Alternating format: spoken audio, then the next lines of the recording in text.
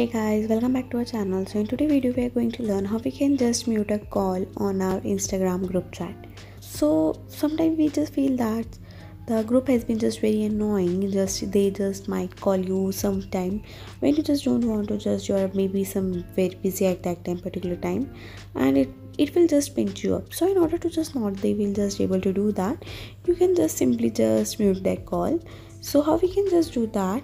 So for that we have to just go to that particular group over here. And once we are over here on that particular group you have to just click on the profile over here. And you can see over here that there's an option for mute calls. You have to just particularly click on that.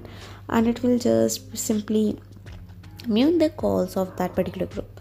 So that's all for this video. I hope this video was a great help to you. If you find this video helpful please do share with your friends and don't forget to subscribe to our channel. Thanks for watching the video. Have a nice day